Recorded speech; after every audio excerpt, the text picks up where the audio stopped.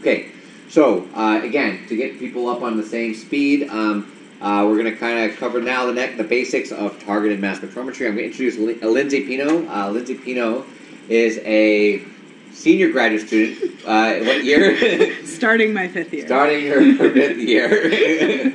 um, and a, a lot of the stuff that I was presenting in kind of uh, highlighting some of the, the challenges and issues as far as signal calibration, batch to batch reproducibility, et cetera, as work as part of her, her thesis work. Um, uh, and what she's going to be presenting, at least now, is the basics of targeted mass spectrometry and some of the issues with the hardware and the applica- how it actually works.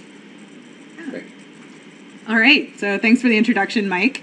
Um, if at any point during uh, Mike's uh, opening lecture you were feeling a little lost, um, hopefully this will bring you up to speed with some of the words, some of the terms, and some of the ideas that we're going to be talking about all week.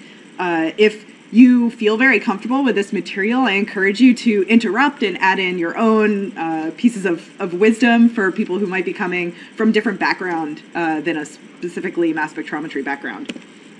So there are three specific goals that I hope you walk away with um, having a good understanding for.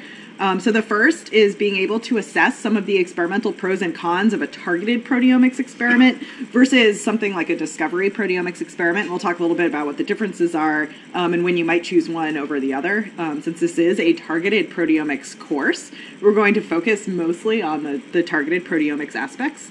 Um, one of the second points that I hope you walk away with a better understanding um, is some of the fundamentals of mass spectrometry proteomics. If you're coming from an analytical chemistry background or a mass spectrometry background, hopefully this is a lot of review. Um, but if you're not, this is to kind of even the playing field and make sure everyone understands what we're talking about and we're all using the same vocabulary. Um, and then finally, we're going to go through some of the, the steps of doing a targeted proteomics workflow. Uh, something like I have, you know, a freezer box full of samples, and I want to do mass spectrometry, mass spectrometry proteomics. What is my my very first step of doing that? Or maybe you have peptides and you're ready to run a mass spectrometry experiment, but you're not sure. Sitting down in front of your instrument, what are the specific steps that I need to do? So we're going to start off um, talking about fundamentals of mass spectrometry proteomics. We're going to talk a little bit about uh, targeted mass spectrometry proteomics data acquisition. Um, we'll go over the experimental design, um, both some of kind of the sample prep uh, ideas, and then focusing mostly on um, how to go from a protein of interest to a mass spectrometry assay. Uh, and then finally, we'll look a little bit uh, at the data itself. So we'll look a little bit about at spectra and at uh, chromatograms, and then I'll talk briefly about assay validation. So overall, this should give you a little bit of a taste of, of some of the uh, things that we're going to be doing hands-on um, this afternoon.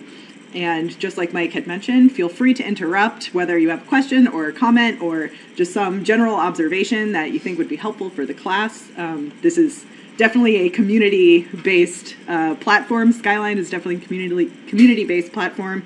Um, so we want you guys to be able to learn from each other, not just from the instructors. So let's start with some of the fundamentals of mass spectrometry proteomics. Um, and right off the bat, uh, just trying to define what are what do we mean when we say targeted proteomics. And I think if you ask every person in this room, it probably a slightly different definition. Uh, to me, I think the most important things are that it's a, a mass spectrometry based analysis that focuses on just a subset of proteins. You know what proteins you want to measure right off the bat. If you don't know what proteins you want to measure, you're not doing targeted proteomics. Um, and then the final goal of a targeted proteomics experiment is almost always quantitation. Like we don't, we uh, are less interested in whether we detect something or not. We want to be able to quantify the abundances of the different proteins. Um, some uh, of the reasons people choose a targeted proteomics experiment is because it's highly reproducible um, and it's also highly sensitive. Quantitatively, it's very sensitive. Um, one of the reasons people uh, are maybe moving away from targeted proteomics or trying to do other types of mass spectrometry based proteomics is because you're limited in the number of proteins. So, this goes back to what Mike was saying this morning about how you can measure lots of things but not particularly well, or you can measure a few things extremely well. Um, so, targeted proteomics is definitely balancing more on, on a subset being measured extremely well. Um, and it's kind of kind of balancing, you know, like choose two of three here. Um, so just like in our work life, if we had to choose between research progress, sleep, and work life divide, choose two of the three. Um, it's similar with mass spectrometry, mass spectrometry based proteomics. So you can have sensitive quantification, you can have a scalable assay, or you can have comprehensive peptide detection. Um, there's not really a good way of doing all three of these, so you have to choose your mass spectrometry method based on what your, your experimental question is. So on the left-hand side of this, if you wanted sensitive quantification and you wanted it to be scalable, um, a lot of samples, um, targeted proteomics, aka quantitative proteomics, is a good bet. Um, where your goal is to quantify specific predefined proteins. Um, so the two types of mass spectrometry you'll hear related, uh, you'll hear um, mentioned along with this is selected reaction monitoring, SRM, and parallel reaction monitoring, PRM. I'm going to be mentioning PRM a lot because I saw in your surveys that a lot of you have Orbitrap instruments, Q Exactives. Um, so I wanted to make sure that we, we maybe focus a little bit on what you'd be taking home back to your labs. On the other hand, if you wanted uh, to do a scalable and comprehensive peptide detection, that would be more of a discovery based, um, where you could detect all of the proteins that might be present in a sample, um, but uh, you'd be using a method called data dependent acquisition. So on Thursday, we're going to be talking about not SRM, PRM, or DDA. We're going to be talking about data independent acquisition on Thursday. And that's kind of been a new thing uh, that the field has been trying to do to reconcile sensitive quantification, scalable assays, and comprehensive peptide detection. So that's just a term to stick in the back of your mind that we'll be getting, returning back to is DIA and SWATH. So just as an overview, I mentioned you have, for example, all of these samples sitting in your freezer. Maybe maybe these are tissue samples like heart, uh, maybe they're plasma, um, maybe they're cell uh, pellets um, from some perturbation or genetic experiment that you've done. Um, the very first step in a mass spectrometry workflow would be to, for example, homogenize those tissues, slice the cells, um, do some sort of subcellular fractionation if you're interested in some organelle inside a cell or, or some laser capture or microdissection if you're interested in a specific section of tissue. Um, and the goal there is to get proteins out of your sample once you have proteins from your sample, you might do another set of sample prep. You might fractionate the proteins. You might do a post translational modification enrichment. Um, like if you're interested in phosphorylation or signaling pathways, you might enrich for phospho. Um, you might do an immunoprecipitation if you have a protein you're interested in and you know that it's a very low abundant protein. You might pull it out of all of the other proteins in your sample using antibodies enzymatic digestion um, using some enzyme like trypsin or Lys-C, or if you're really fancy, there's some more expensive options than Lys-C, um, to take a large protein and digest it, break it into smaller pieces called peptides. And then typically we end up with a sample of peptides that are ready for mass spectrometry. You might at this stage do more enrichment. Maybe you do another PTM enrichment, or maybe you do um, uh, a cleanup. Maybe your samples might be a little dirty, something like plasma might need cleanup. But at this stage, no matter what type of mass spectrometry proteomics you're doing, everything pretty much looks the same, whether you're doing a discovery based or you're doing a targeted based. You need to prep your samples um, into peptides for mass spectrometry. We won't be going into anything like native or top down here. But now that you have peptides for mass spectrometry, now what happens? First is that the peptides are separated by liquid chromatography. Um, I didn't see in the survey anybody doing anything other than liquid chromatography coupled to their mass spectrometers, but if you are, we can chat more about that.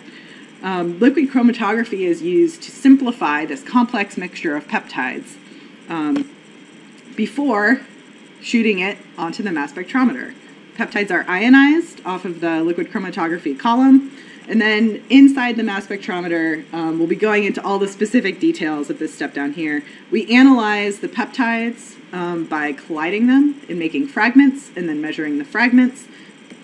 And then we get this type of data that we call a chromatogram. And we'll be going into all of these steps on the bottom in more detail um, starting right now. Before we move into the more detailed section on the bottom half of this slide, are there any questions so far or comments or not yet. Everyone's still on board. No one lost too badly yet. So let's talk about what's happening as the peptides are being analyzed by mass spectrometry. So if we were to zoom in on one of those those cartoon pictures of a peptide, we would see something like this. There in a peptide, there's an N terminus and a C terminus of the peptide, just like the protein itself. And then each one of the individual amino acids you can kind of think of as an individual piece of the peptide. There's information we already know if we know the sequence of a peptide. We know its mass. We can assume a charge, for example, a charge state of 2. This peptide, we can say, takes a char- start charge state of 2. What we measure in the mass spectrometer isn't actually mass, it's mass to charge, m over z. So you'll be seeing this term a lot. And what this means is we took the mass of the peptide and whatever charge that ionized peptide has taken, and then the m over z is the, the value that we'll be referring to whenever we, we uh, get into Skyline or talk about peptide properties.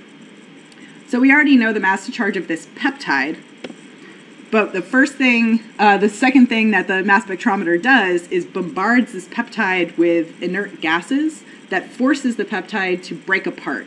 And the nice thing about peptides is that they break apart at very predictable places along the backbone of the peptide. So, in between each of these balls, um, which are being used to represent the amino acids, the fragmentation will happen somewhere there. So, here I'm showing you some example um, of where a peptide might have fragmented if I bombarded this peptide. If I fragment this peptide, I get two halves Usually this fragmentation happens and only one break happens in the peptide backbone. So now I have two halves of that original peptide. One half is referred to as the B ion and the other half is referred to as the Y ion. So to go into a little bit more detail, looks a little something like this. So I'm showing you on the top here what's called the fragmentation ladder. So you might notice that going from the C terminus towards the N terminus, those are all Y ions and they increment as we move each amino acid down the line. And then the complementary B ion is produced from the second half, going from the N terminus towards the C terminus. So if I do one fragmentation event and I break the total peptide, the overall peptide, into two halves, I would get this B5 ion and this Y7 ion. So that's just one fragmentation event What's actually happening inside the mass spectrometer is tons and tons of these fragmentation events are happening. So, a second fragmentation event, maybe this peptide would break into two different pieces. Now I have a B, uh, B9 ion and a Y3 ion. So, you can imagine if this peptide, there's a thousand copies, a thousand uh, individual molecules of this peptide in a mass spectrometer, and I fragment it it could have any number of these types of fragmentations. Um, so we get a population of different fragmentations. And that's what we're seeing when we look at a mass spectra. So mass spectra is showing the mass to charge of the fragment ions here, the fragment ions, so each of those collision events. Mass to charge on the x-axis and on the y-axis is the intensity of the signal. Um, you can a little bit think of this intensity as a proxy for how many of those fragmentation events happen. So if it's a higher value intensity, that uh, particular fragmentation event happened more frequently than a very low intensity fragmentation event. So this is what the mass spectra for this peptide might look like. So now we can go through and match those individual mass to charge values to which fragmentation event happened. So, are there any questions so far? I'm going to review this one more time, slightly different way, in case you learn differently. Everyone good so far? Any other comments? Those of you who are maybe a little bit more uh, uh, classically trained in mass spectrometry probably realize there's a lot of other fragmentation events that happen. Here we're focusing on B's and Y's because I saw a lot of people have uh, Orbitrap mass spectrometers, but there are other cool things you can do to get different types of ions that we're not going to go into too much here. If you're interested, you can ask your classmates because I'm sure they can uh, explain to you things like A and Z uh, and what might happen if you had a PTM um, and different types of collision energies. Um, for now, we're going to keep it keep it solid here because B's and Y's are the most important things to know for this part. Okay, so what's happening actually inside this mass spectrometer? The mass spectrometers themselves are generally composed of the same parts of an instrument. The first part of the instrument isolates precursors, so isolates those peptides based on their mass to charge. So you would have to know in targeted proteomics what precursor mass to charge you're interested in. You program the mass spectrometer to isolate that specific precursor mass to charge.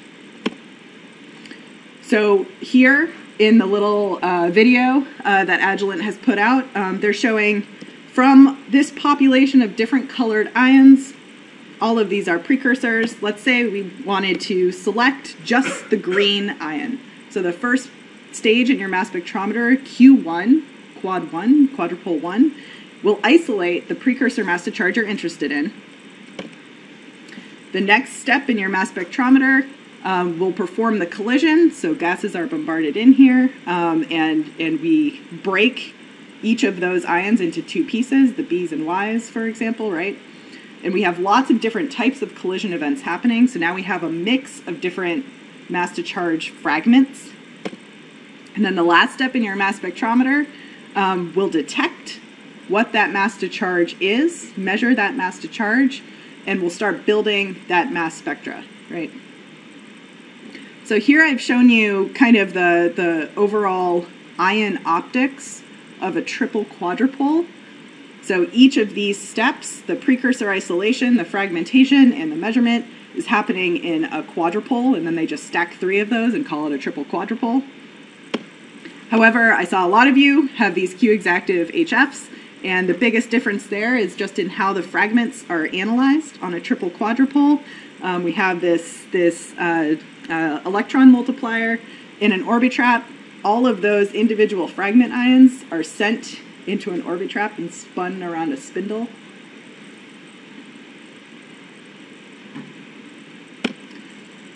So the biggest difference between whether you're doing targeted proteomics on a triple quadrupole versus on something like a Q-exactive, on a triple quadrupole, you need to know that precursor mass to charge. On the Orbitrap, you need to know that precursor mass to charge, and you program your instrument to isolate a specific precursor, precursor mass to charge, and then you fragment it. So far, everything's the same. So the difference is in how you analyze those fragment mass to charges. On a triple quadrupole, you again have to program your instrument to specifically measure one of those mass to charges, one of those fragment mass to charges. On an Orbitrap, you don't have to program, it'll measure all of that population of fragment mass to charges. So, any questions so far on this part before we change gears again? No questions? Still doing pretty good? So, that's Triple quadrupole, that's selected reaction monitoring, SRM, sometimes called multiple reaction monitoring, MRM, but we're going to stick with SRM for this class. We're going to call it SRM, where you need to know precursor mass to charge and fragment mass to charge for everything you want to measure. On the QE, we do parallel reaction monitoring, PRM, where we just need to know the precursor mass to charge and then we measure all of the fragments in the mass spectrometer. So, so far, so good? All right. Each of those mass spectra that the instrument takes can be stacked across time to make a chromatogram. So the measurement that the mass spectrometer makes, that mass spectra, it will acquire many mass spectra over time. And if you stack these over time, um, which I'm showing kind of on the, the right hand side of this, so you have the mass spectrum on the left, and then on the right, the mass spectra are stacked over time, which is kind of the z dimension going back into the into the slide. You get traces that are called chromatograms. So the chromatogram is no longer mass to charge on the x-axis, it's retention time on the x-axis and intensity on the y-axis. Because when we're making these measurements, each of those fragments are being produced at the same time, for example, in an Orbitrap, we're measuring the whole population of fragment ions, we get these kind of pretty rainbow shapes in the intensity that reflects how abundant each of those fragments was. So we're good so far, mass spectra and chromatograms. Any questions? Plowing forward All right. So now we kind of have an appreciation for this full workflow.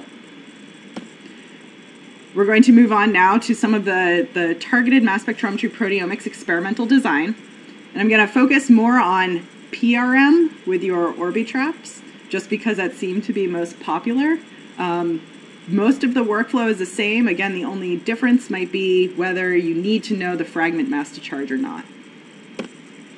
So if we go back to that overview of targeted mass spec proteomics, some of the pieces of information we're going to need in order to program our mass spectrometer. The first, we need a hypothesis. We need to know what proteins we're interested in.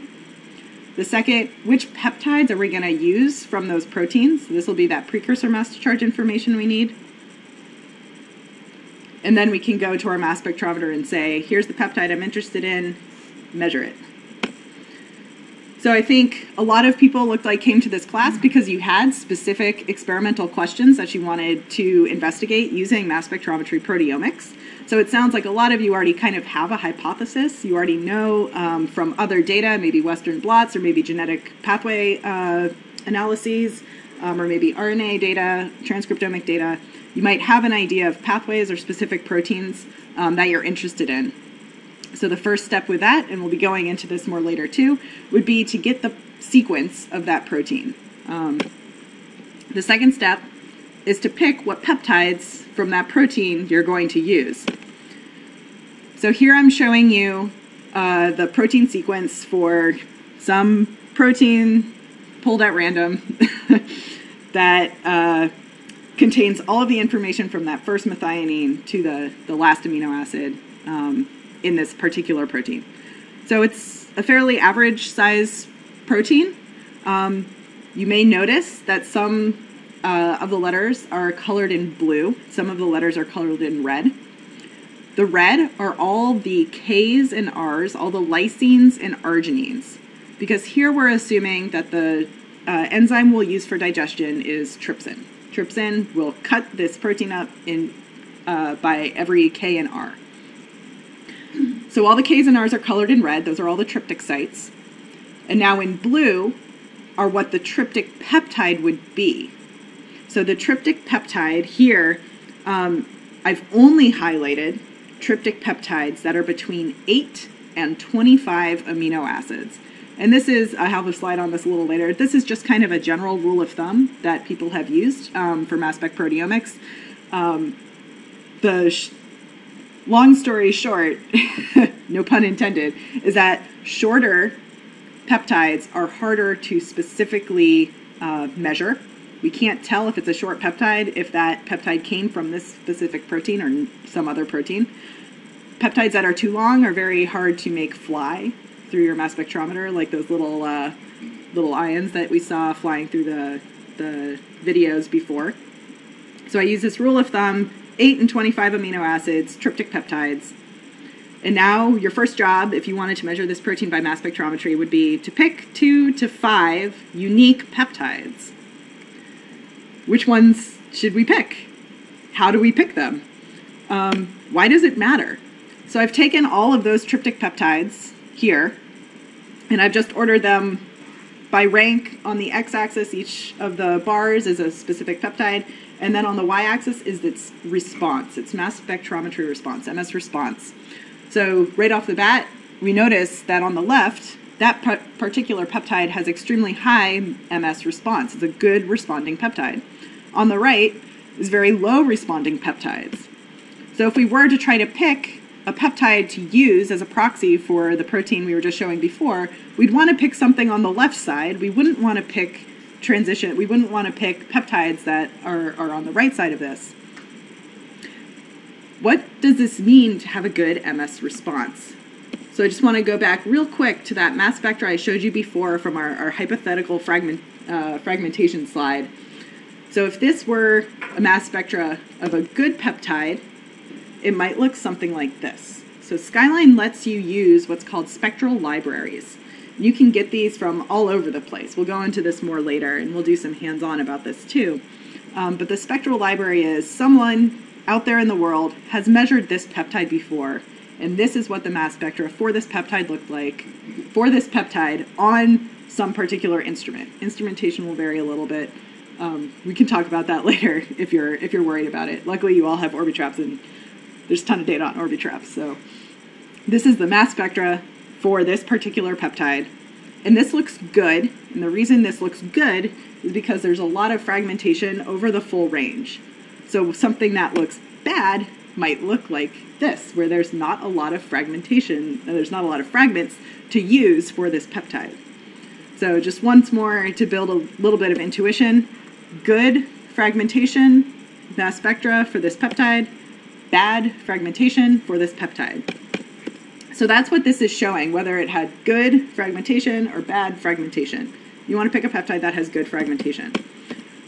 How do you know if any of those blue peptide options from our hypothetical protein is good or bad? Yeah, comment. So when you say good or bad peptides, uh, might happen, right, when you have this multiple fragmentation units happening, your sensitivity will go down for each fragment, but in the bad fragment, those two fragments could be hyperending. Absolutely correct. That's a great point. So, just to say it one more time in case you didn't catch it, maybe the total intensity of all of these peaks is kind of low compared to the total intensity of these peaks, the y axis here, but this is still a better spectra than this spectra, even if that y axis looks higher on the bad than the good.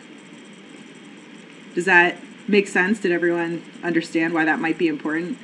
So if we just looked at total intensity, just looked at the y-axis, maybe we could get a spectra where the y-axis is crazy high, but it's only like two fragments, versus this y-axis might be a little low, but we have lots of fragments. Yeah. So, of identification, you choose this spectrum. To MRM, to five transitions. Isn't that if you have a a peptide which have a few transitions, especially high, but other transition is good enough for you and possibly Mm. to identify them from the discovery. But when you transfer to the MRM, you might want to uh, choose a peptide which have a, a few transition, particular high abundance, that will put make the later MRM assay more successful. Yeah. Equally. Yeah, that's a good point. So it could be the case. So the, the comment was it could be the case where even though this mass spectra looks not great, it's not very complete, there's not a lot of fragmentation across the range of mass to charge, it might be that the few fragments you do see are enough to selectively detect this particular peptide. Does anyone have a kind of intuition for which fragments might be the best? Um, peptides that are above precursor mass. Peptides that are above precursor mass. Do you want to explain a little bit why that is? Well, we always worry about background contamination. And background contamination on mass spec experiments is often plus one charge. So if we have a peptide now that is plus two charge, and we have contamination that is co-isolated by the Q1, let's say at 700 MOZ, then our fragments which are um, which are singly charged might be let's say at 900 MZ, and therefore whatever fragmentation occurs to the contamination that we brought the Q1 cannot be the transition at 90. Does that make sense? Everyone kind of follow? I'm seeing nodding heads. No, I'm sorry, I don't, don't follow. Don't follow. No, So, guys, for some, some of the things that are being said, like, you have to remember there might be people that don't, like, I don't, what is precursor mass? Yeah. What is, you know, I don't know, like, any of the sort of shorthand words. yeah, no, that's that's a great question. So let's if we look back at this hypothetical peptide, so this is just a peptide that digests off of the protein. So this is one of those blue. mass just means one peptide before you fragmented it. Sorry? Precursor mass is the mass of one peptide before you fragment. Correct. Okay. Precursor is this this peptide mass. So you might hear peptide, you might hear peptide sequence, you might hear precursor, you might hear parent. So all of those are kind of used synonymously for what this peptide is. Yeah, in the back. Uh, and it's, it's really, really important that you discern the mass of the peptide and the mass, mass over Mass to charge, correct. So it's not just the mass. Remember, the mass spectrometer, kind of confusingly, doesn't measure the mass. It measures the mass to charge. Should be mass to chargeometer, I guess. Um, so even though this peptide, if we were to go through and add up each of the amino acids, we would get uh, like thir- uh, 1,355 mass. But the spectrometer itself, the mass spectrometer itself, is measuring the mass to charge. So most peptides are charged two or higher, and it kind of depends on what amino acids are in are in the peptide itself. We can get more into that if you're interested later. Um, but one important thing to remember is that if it's a peptide, it will have a charge two or higher. There's a lot of other things that just float around in the air or exist in uh, the solvents on your mass spectrometer that are contaminants. And they're almost always, like the comment in the back, charge one. So a lot of the stuff there's like like paint fumes if they recently painted outside of your mass spectrometer room. Um, if they're doing any work in the ceiling, like in the ducts, um, like ceiling tiles. Uh, what's some other good ones? Uh, there was a story of a student in the MacCoss lab who was wearing Axe deodorant spray and had a contaminant every time he sat down at the instrument and blamed everyone except for his axe. Um, so yeah, strong, any kind of uh, strong scent um, will show up like a contaminant, but it'll almost always be plus one. So if it's a plus two in a mass spec proteomics peptide sample, you can be pretty confident it's a peptide. And then we can get up to higher charge states depending on the, the peptide chemistry itself. So specific amino acids might add extra charge. Um, PTMs will add extra charges. Um, Going back to the comments. Yes. Then what was, what was the reason for why you would be able to pick whether or not you had a good. Yeah. So if the frag if the peptide begins at a plus two, so I didn't put it.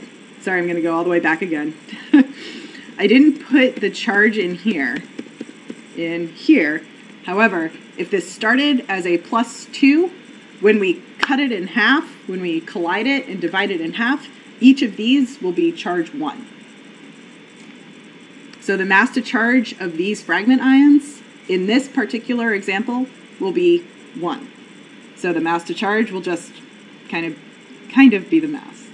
Um, there's some other hydrogens and but it'll basically be the mass. Question. Uh, about uh, the, the, the two different kind of spectral libraries, whether which one is good and which one is Yes. not good. So if I'm developing a targeted method and Mhm. I have to choose my method, I have to define my transitions, I will never be going to that second spectrum in which I, I get to see only one or two transitions, not the rest, because I'm not sure Yeah. whether whether that is actually coming from that peptide or it's a. Oop. Going to these spectra. So this guy. Yeah. Yeah. This is probably not one I would ever use if I had a choice of something else.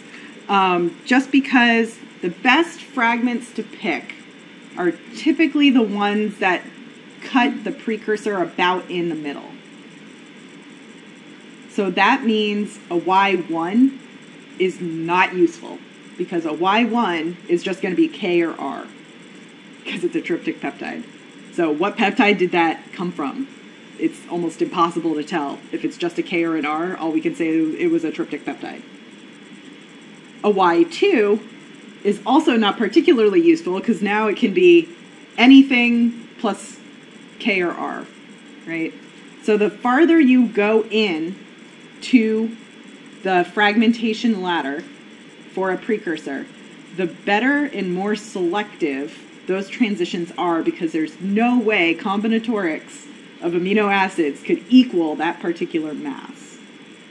So it might be the case in one of these bad looking fragmentation spectra in a spectral library, it might be the case that it's a really solid, good transition right in the middle of the precursor you're interested in, in the middle of the peptide you're interested in. But commonly, you would want to use something like this. If you have a choice from a bunch of peptides and your choice was this or this, I would probably prefer to use a fragmentation spectra like this. with lots of evenly spaced. So is that is everyone still on board? Questions are definitely welcome. So still on board. So we got Spectral Library. You can find Spectral Library online. Um, so this is less of a slide for you to specifically read each of these bullet points and more of a slide to reference later if you wanted to look for spectral libraries. Um, it could be really nice to use public repositories for spectral libraries um, instead of just diving headfirst into an experimental brute force approach. Um, some that I will, some of these repositories that I'll highlight um, because this is Skyline. Oh, question first. Sort of a general question. Are there tools, or even in Skyline itself, that will take some of this logic, logic that you just described and actually automate the selection of peptides? There are. And we will be doing that in the hands on. So that's a perfect setup for the hands on segment this afternoon. Um, it's not entirely automated, but you would you will probably be impressed how easy it can be to go from a protein to peptides that you have spectra for. Um, any more questions about this before I just do a couple little vignettes of specific repositories? So one um, that I'll plug since this is MacCoss Lab is Passport. Um, so the website's up top there. The idea with Passport is that you can see some of the different response, similar to that figure I had just showed you before for our hypothetical protein, where we had some on the left of the graph, we had some very high responding peptides, and on the right of the graph, we had very poor responding peptides. So this might be a situation where if you were interested in aspartate aminotransferase, cytoplasmic 4, um, if you were interested in this particular protein, and you typed it in to Passport, you would see a page like this that would show you look at all these great peptides on the left. You should definitely prioritize these peptides to measure this protein, and maybe don't waste your time trying to measure any of them on the right. Another uh, extremely thorough resource um, is the CPTAC assay portal. Um, so, this uh, particular assay portal also includes um, additional information uh, that Mike had brought up um, like the limit of detection and the limit of quantitation. So these are peptides that not just respond well and fragment well, um, but they've also been thoroughly validated for their reproducibility, their accuracy, their precision. Um, however, oh, question, yep. Yeah, it's just the general question about the public resources. Is it only including the uh, CID fragmentation library? A lot of these resources have options where you can plug in exact experimental parameters, like specific instrument you're using, fragmentation that you're using. Um, so some of these contain all that information. You can typically a lot of these resources you can plug all that in and pull all that information specific for your experimental parameters. So the question uh, was talking about CID, HCD, ETD. These are different ways to fragment. I had generalized how collision happens, um, but there are some specific uh, ways you can do fragmentation that changes what that uh, peptide fragmentation pattern looks like. Um, so the question was just that seems like an important parameter. Do these take that into an account? And they do. Um, so although these, oh, one more question, yes.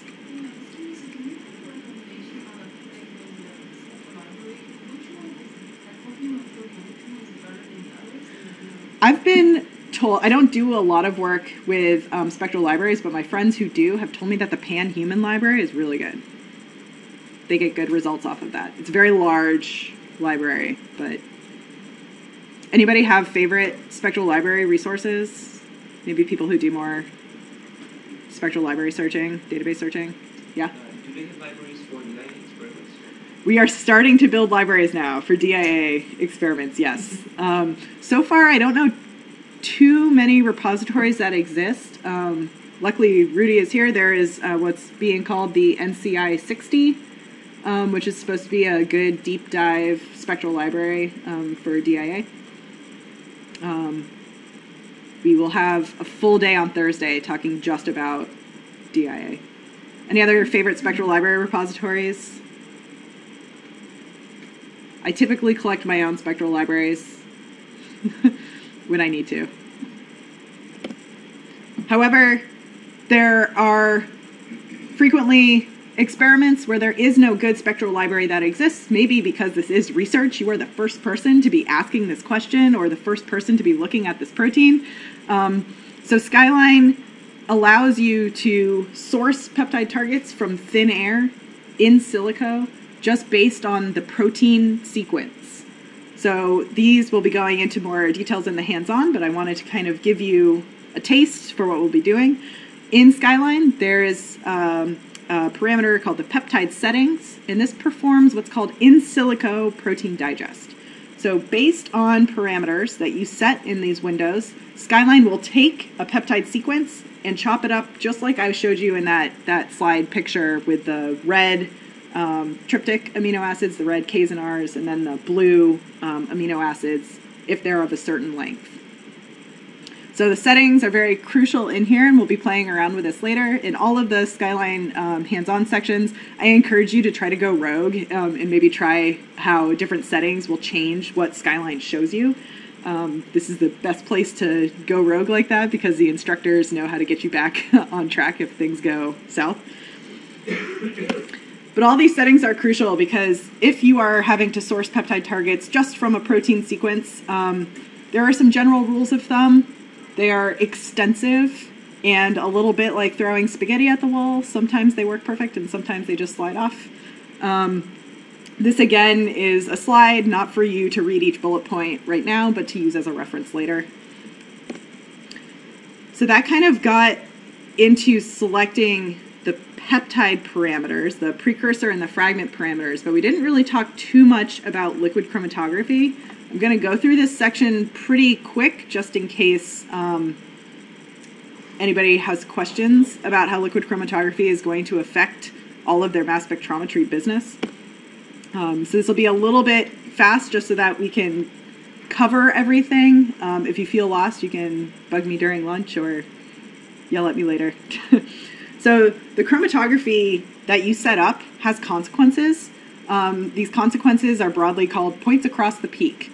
So points across the peak, when we draw these chromatograms, um, each of the horizontal lines is representing one scan. So that's one mass spectra that I've slid on its side and stacked up over time to build this chromatogram. So depending on how many mass spectra you have, how many MS MS scans you have to stack, you get better or worse estimate of that peak shape. So if we take away this interpolated blue line, really the data we have from these MS-MS spectra that we've stacked across time is just these points. So intensity on the Y and time on the X. Orientation feel okay? Maybe? Seeing a couple people confused, I'll show a couple more examples, then maybe we'll regroup. So this is the just showing the same thing again, and I just want to emphasize how when we take away the interpolated chromatogram, the interpolated, interpolated blue line that we've kind of drawn in, it's hard to tell just from these points what the original peak shape was. We don't have enough points across the peak to really describe what the peak shape was. So this can be very important because we're using the integrated area under those peaks as our quantitative values. So the better we can draw what the peak shape is, the better quantitation we're going to have. One parameter in this is how fast your mass spectrometer is. So we'll call this cycle time, the time in between each of the MS MS scans, each of the the mass spectra that we've collected for this mass to charge. If we collect infinite scans across the peak, we'd have a perfect picture, but our instruments currently have limitations where they can't take infinite scans per second. Um, so we have to get creative in how we can program our mass spectrometer to collect as many scans as possible, as many points across the peak as possible. Um, this is kind of a reference slide. Uh, if this is of interest to you, if you maybe have not great peak shapes, or if you're interested in getting great peak shapes, um, this is a great paper from goodness, a decade ago, um, that kind of shows you how different parameters on your mass spectrometer, um, which are the different colors and points, can change uh, what your uh, view of the peak shape is. So the three things you need to balance in order to get good points across the peak are the target list, how many things you're trying to measure. This is for PRM, this is the number of precursors in your list. In SRM, on a triple quadrupole, this is the number of transitions. So remember, PRM on our Orbitraps, we're just stuffing all of the fragments and measuring all of them. On a triple quadrupole for SRM, we have to do each one one at a time. So the target list, what's called the dwell time, and then finally the total acquisition time. So target list, the number of precursors or transitions, depending on what your instrument is, um, the acquisition time, the total length of the mass spec experiment you're doing, and then the dwell time, the amount of time we're going to spend collecting each of those scans. So these are parameters that if you have a facility, um, you can ask them about how they're collecting um, for their method, uh, or if you are lucky enough to sit down and, and work it out yourself, um, these are what you could be playing with in your method editor.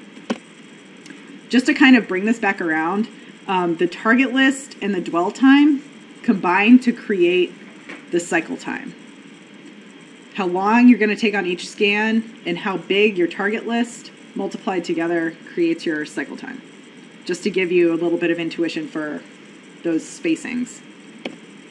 So, cycle time, just the spacing in between those MSMS scans. Okay, so the liquid chromatography gradient itself um, is composed of a couple pieces of information. One is the starting condition, the duration of the separation, and then the start and end, what I'm saying is percent B. So this is the amount of organic solvent you're flowing through. We're not going to really get into the specifics of liquid chromatography in the interest of time, but if you're into separations, we've got some separations people in the audience. This is a typical picture um, of a typical visualization of a liquid chromatography gradient. So on the x-axis is the time of the gradient. So this total method is about a 35 minute method, 35 minute acquisition. So that was one of the sides of that triangle. 35 is pretty short. so I think more typical um, that I've seen is more like an hour. Um, on the y-axis here is the amount of organic. Peptides tend to like to elute at around 10% to 35 or 40%. Um, typically, I say some peptides like to elute very early, and some peptides like to elute very late. So this is kind of an experimental parameter that you'll have to determine. The real high jump up in organic is the wash. This flat part here re-equilibrates the column. The column has to be brought to uh, starting conditions. And this part at the beginning is a separation where the peptides are going to elute. Question? Why would you equilibrate up to 50% B when you start zero? because this particular method was taken from an instrument uh, uh, liquid chromatography system that has its own re-equilibration built in. For other instruments that don't have re-equilibration built in, you would bring this all the way back down. Yeah, the re-equilibration, the little isotonic, probably. Yeah, yeah. This was more more for um, illustration purposes, but yeah,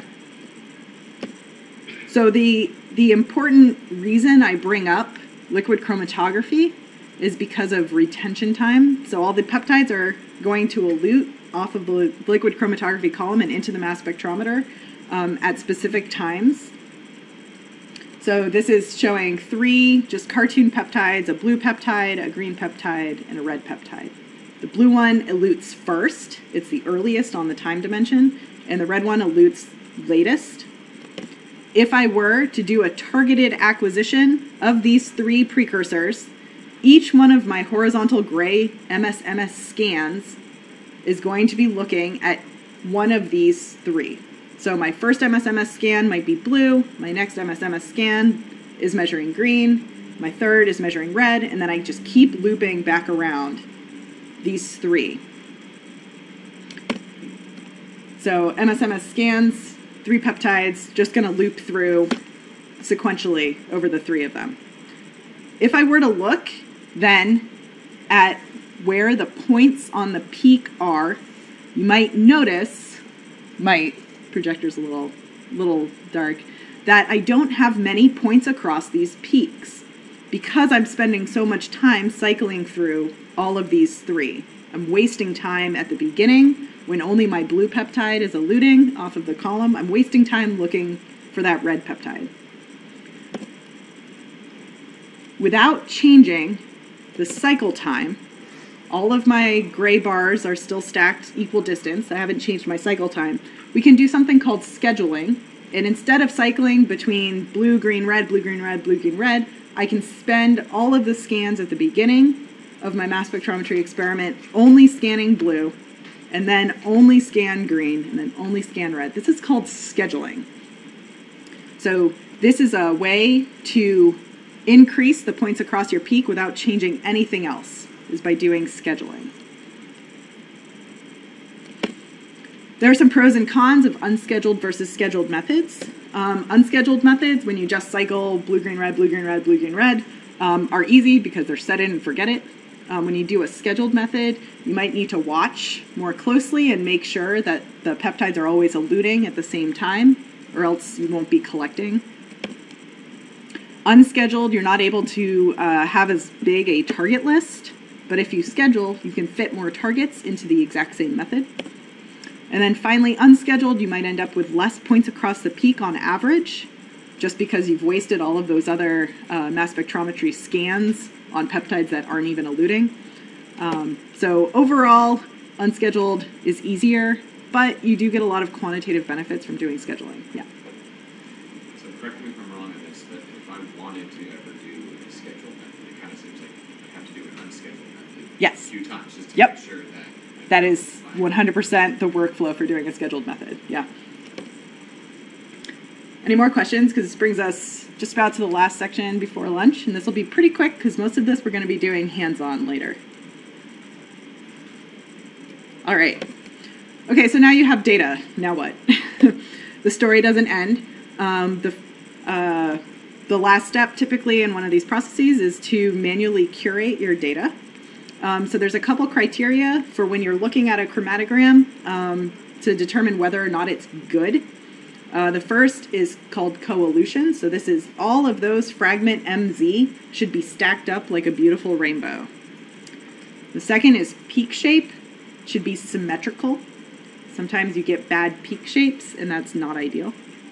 And then the third is is just kind of generally signal intensity. If it's very very low y-axis, um, typically those those data suffer from 0.1 or 0.2 as well as being low intensity. There's some additional parameters that you could use if you happen to have this information. Uh, the uh, fourth uh, thing to look for is called the correlation to the library spectrum. So Skyline will calculate this for you um, into a value uh, called the dot product, dot p.